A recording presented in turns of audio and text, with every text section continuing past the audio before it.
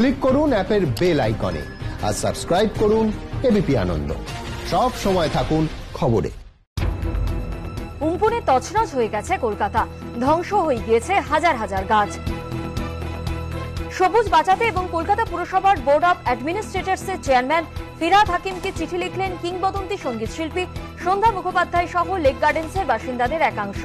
শহরের উপরে পড়া গাছগুলির প্রাণ প্রতিষ্ঠার আর্জি জানিয়েছেন তারা।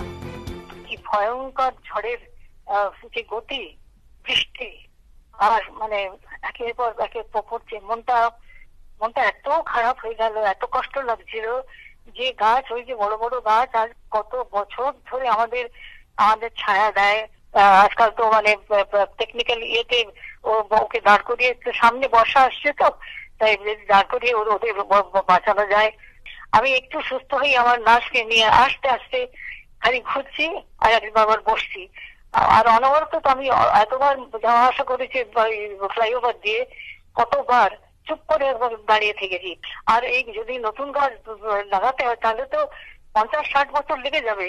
আর এখন তাহলে কি হবে? চিঠিতে লেখা হয়েছে, ঝড়ের তাণ্ডবে রবীন্দ্র সরোবরে উপড়ে গিয়েছে প্রচুর বড় গাছ। তাদের সবগুলো না হলেও অন্তত কয়েকটিকে পুনঃস্থাপিত করা যেতে পারে। নতুন করে রোপণ করলে বর্ষায় এই গাছগুলো বেঁচে যেতে পারে। সৃজিত মুখোপাধ্যায়, অলকানন্দা রায় সহ একাধিক বিশিষ্ট ব্যক্তির স্বাক্ষর রয়েছে এই চিঠিতে।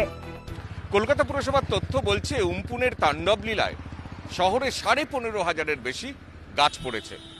তার মধ্যে কিছু গাছ এইভাবেই শিকড় সমেত উবড়ে পড়েছে। লেক গার্ডেন্সের বাসিন্দাদের একাংশের আর্জি এমন গাছই নতুন করে রোপণ করা হোক। কলকাতা পুরসভার প্রশাসক মণ্ডলীর চেয়ারম্যান ফিরহাদ হাকিম জানিয়েছেন বিষয়টি নিয়ে চর্চা শুরু হয়েছে। লেকের মধ্যে এরকম অনেক গাছ আছে রবীন্দ্র সরোবর। আমি তিন দিন ধরে এক্সপার্টরা ঘুরছে ওখানে যে কোন কোন গাছগুলোকে রিপ্লান্ট করে বাঁচানো যায়। কিছু গাছ তার মধ্যে যেগুলো ছোট গাছ বা যেটা সম্ভব সেই গাছ যদি করা যায় কারণ লেকের মাঝখানে ওই ঝড়ের মধ্যে টানাও দেওয়া যাবে না। সেইটা নিয়ে আমরা অলরেডি চলছে সার্ভে। কালকে লেক ভিজিট করছি। আর কাল কালকে কালকে ভিজিট করছি। আর পরশুদিন আমি কর্পোরেশনে এই ব্যাপারে একটা বড় মিটিং ডেকেছি।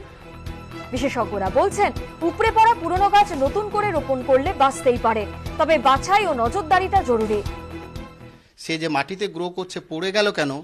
সেইটা বিশ্লেষণ করা দরকার আছে। তার রুট ভেতরে যাওয়ার মতো পরিস্থিতি ছিল কিনা?